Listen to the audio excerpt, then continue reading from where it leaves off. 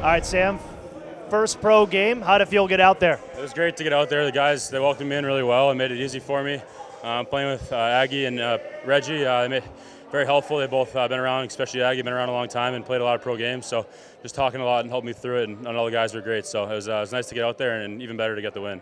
Say, and on top of that, you score your first goal. You know, was it just what happened on the play? Can you take me through it? What you saw there, just kind of turn, fire, get pucks on net. Yeah, I saw. I was standing in front of the net trying to get a tip on uh, the original shot. Um, it bounced out of my stick, and I was in the slot, and I like to shoot the puck, and uh, I saw a little opening there, and I was lucky enough to go in. What's the biggest difference that you noticed in your first couple shifts when you're going from just a couple days ago, you're playing in college, and now here you are in a pro?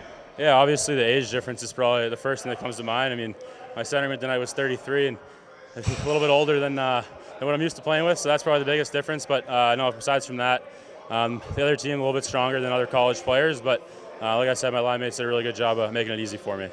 Uh, the way this one goes, back and forth, up and down, and, and, I'm sure you're just getting used to the group and everything. But a guy like Alex Stalock, who's another one of those veterans, 36 years old, when you guys go and mob a guy and see him win, what's kind of that said in that kind of whole pile up when you go see a goaltender at the end of the game? Yeah, I mean, he kept us in it. Um, obviously, we went down twice in the third period by goal, and we, he kept us in it. Uh, we fought back, got a couple goals there, and then it goes to the shootout. If none get by him, it's, it's pretty easy to win. So, uh, yeah, it was, I don't know, kind of a blur for me going into that pile, but uh, just really happy to get the win. How'd that one feel, man? It's, it's, been, it's been a grind, but tell me how that one felt. No, it was great. Um, to do it like that and have uh, my whole family here is uh, really special, and uh, the group uh, played unbelievable. We fought back and clawed back into the game when they took the lead, and it was a ton of fun. And everybody had smiles on their face after the game. It was good to see. Uh, okay, tell me two pad stack. Saw in practice a couple weeks ago. I saw you come sliding across. We see one of these in the game too. I mean, you're still out there having fun. Like, how, how much fun was it to, to be in the battle, be in the fight like this? Yeah, I think it was a little mix between fun and fatigue, but uh, I kept the puck out and.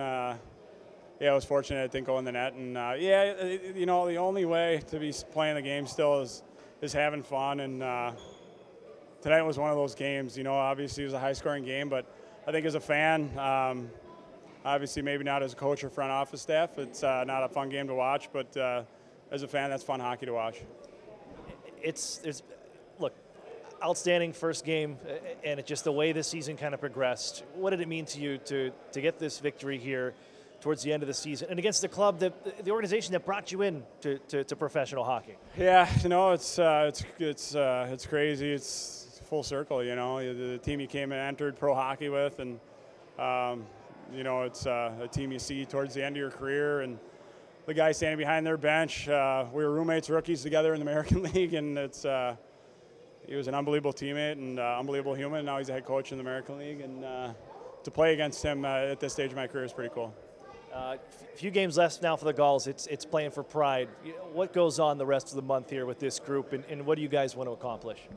I think for us, it's mainly just have fun and uh, play hard, play to our system like we talk about. But uh, at the end of the day, if, if you're playing hockey and you're not having fun, you're probably in the wrong the wrong profession. So it's uh, it's I think this group uh, tonight was uh, obviously a, a, good step for us to you know, going to an off day tomorrow with uh, with a big win, you know, emotions are high as uh, you know, emotional game, and to end up on top, uh, you saw how excited the guys were. Matt, wild game. Um, how did you digest this one? Off to a first period, you guys score first. I think it's the tenth time in the last 13 games. Uh, they kind of roared back. They found ways to answer, but you guys were able to find ways to answer the third period. Just seemed like this one had a little bit of everything in it felt like growth for our group. Um, you know, there's moments in the season that you uh, you think about a lot once the season's over. I think this will be one that feels a lot like growth for us. And what I mean by that is you get down two times in the third period, and then being composed enough to answer each time, uh, it's it's a big deal. And then being able to get the job done in the shootout, it's uh, there's so much great in the game, and uh, it made a great story uh, by the end. Sam Colangelo's first pro game, first pro goal. What'd you see out of him when he went out there and did his thing? Made an impact right away with his skating, uh, his size, his, his, physicality, his shot. Um, that was uh, apparent from the beginning, and you know I thought that he picked up system play pretty quick. Uh, yeah, he, he, obviously made an impact. Alex Stalock, you know, His last starts in February. His last wins in October. It's been a, this has been a journey for him. What was it like to watch and just see this thing play out? It comes down to him against his old club in a shootout, and he takes down all three shooters. How'd you feel about his game and just Alex in general? Uh, we had this this game circled on the calendar for him against his former club, and um, I know he was at a, at a higher level the last time that he was here, but but he uh, um, he was awesome, and uh, more than anything, the guys rallied around him, and they love him so much, and uh, the way that the guys played in front of him today was inspiring. And uh, it, for him to be able to come up with those saves at the end, it just honestly it puts an exclamation point on the story you're officially eliminated from the playoffs. Bakersfield gets a win as well. Nine games left.